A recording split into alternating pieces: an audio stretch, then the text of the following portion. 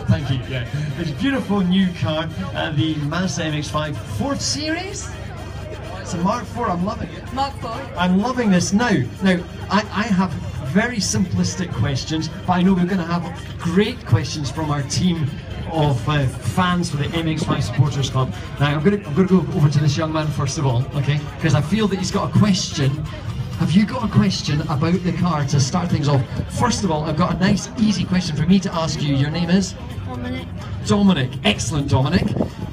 What's your question for Vicky? Uh. Okay, so A, well, it's one of the letters of the alphabet. I can help you with that one. Oh, no, sorry, here we go. um, how fast can it go? How, a good question there, Dominic. How fast can the gar, car go? Now, this is not legally within the UK you're asking, you're just meaning how fast it can go. Um, well, I can't tell you the exact speed at this stage, um, but sorry, No, it's a, it is a prototype at this moment, so yeah. race dive. How fast do you want it to go? Quite fast. Quite fast. Can we do quite fast then, Vicky? I can probably do quite fast for you. Is that okay?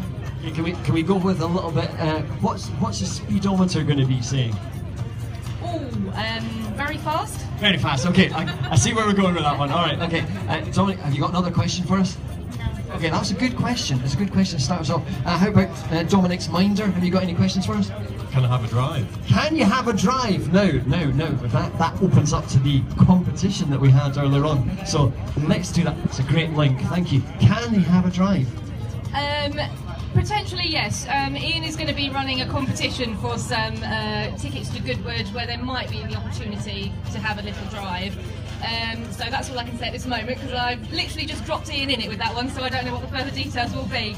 Um, but yes, in, I mean, I mean, in terms of actually test driving the car, um, you'll see them in your dealerships late summer, so you'll be able to have a drive with them then. Fantastic. Okay, so all the dealerships uh, keep a, an eye out for that. But soft top, hard top, the the Mazda MX-5 uh, Owners Club. If you check out that magazine, then you'll find out a little bit more on.